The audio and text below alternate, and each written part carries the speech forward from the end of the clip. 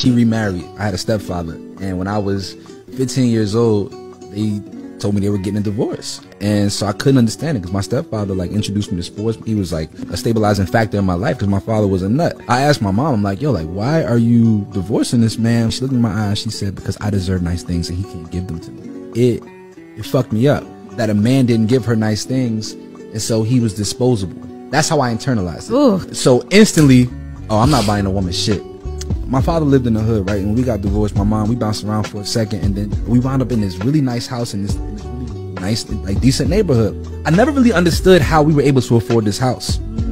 My mom later revealed she had been saving up money this her whole life for the Oh, moment to buy this dude. house. No, Oh. on her own. Okay. and she put down the entirety of the deposit. Oh. And that man didn't contribute anything into the foundation of that oh. home. And she never told me that part. Wow. I really just thought you was a gold digger looking for diamonds and golds and, and, and that that changed the lens through which I saw all women. There's an effect of everything that we give our kids, like whatever we tell them, they it can have the ability to change everything. That Oh, one yeah. it conversation goes one way or the other. Yeah. bro it can be that Yeah. drastic so yeah, Yeah. like give me all the information don't give me a part of it Yeah, yeah, yeah. because you're developing me and this conversation i'm it's i'm gonna hold on to this Yeah, that's true. That's true. i'm clinging on to your That's shit true. man you my mother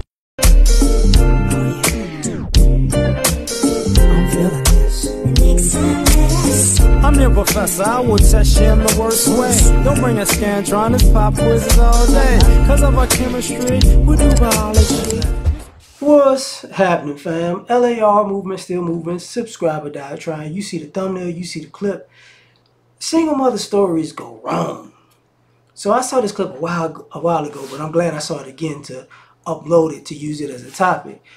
Um, for the guy in this clip, this is why people give the children of single mothers side eyes because a lot of times you get taught to be scumbags and to praise scumbag stuff. And what I mean is this, by, by how, how, how that clip's laid out, and I, I, don't, I don't believe it was edited, because I think it was, like that initially. But what he said, or how the clip was made, it was basically his dad was no good, quote unquote. He had a stepdad that was really good. And his mama left the stepdad because he didn't get her nice stuff.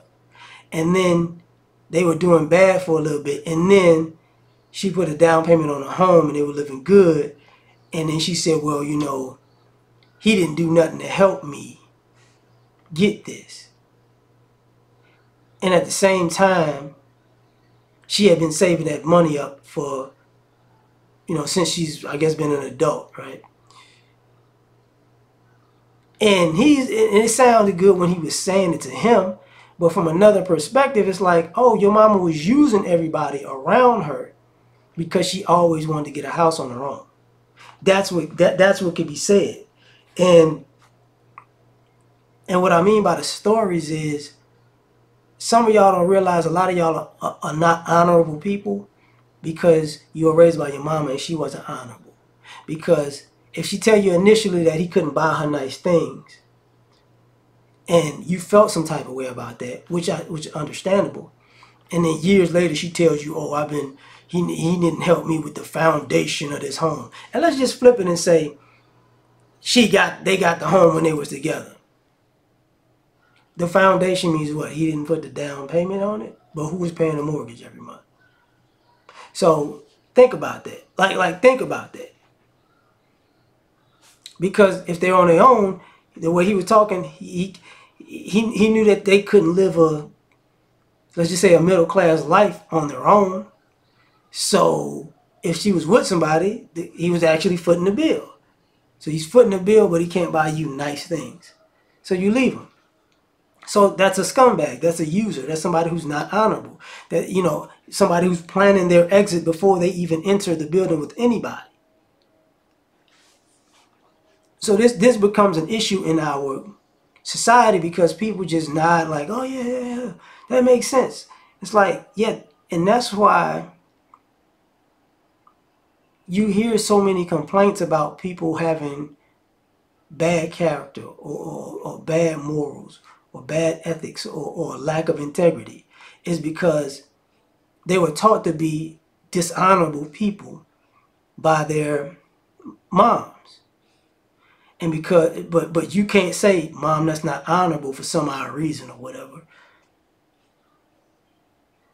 It, it, or it doesn't dawn on you because if somebody tells you one story one year and another story another year, you know nine times out of ten, you know that first story they realized didn't sound too good, so they got to make up another one because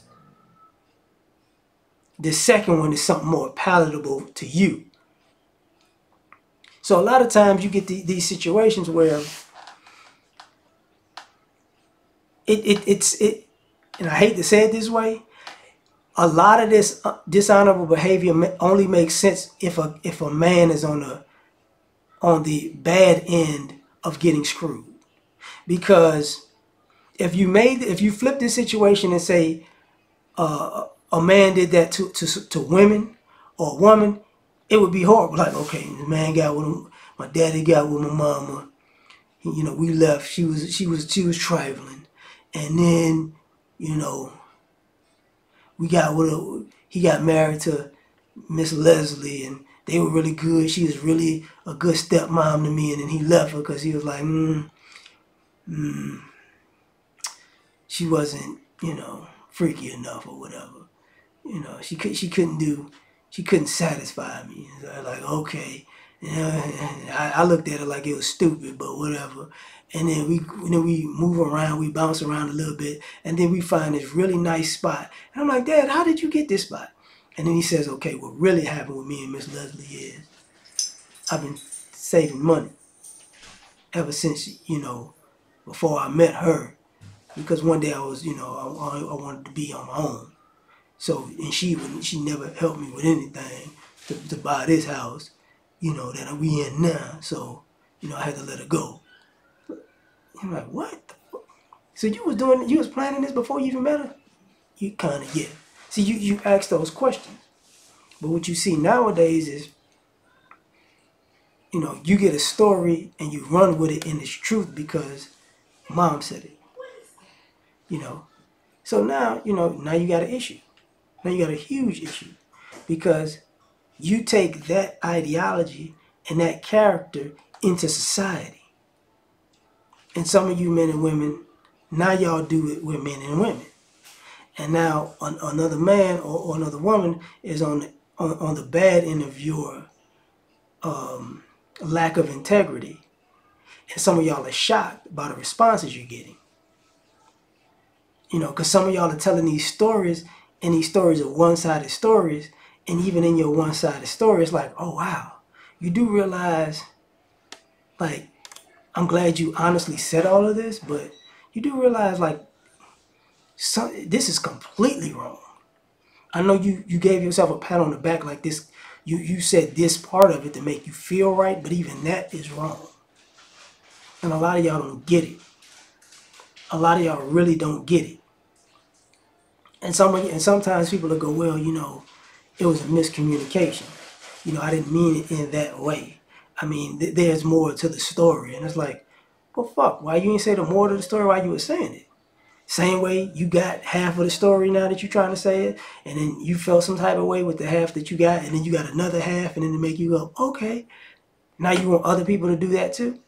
So what happens is you got a society of people who are fishing for your truth.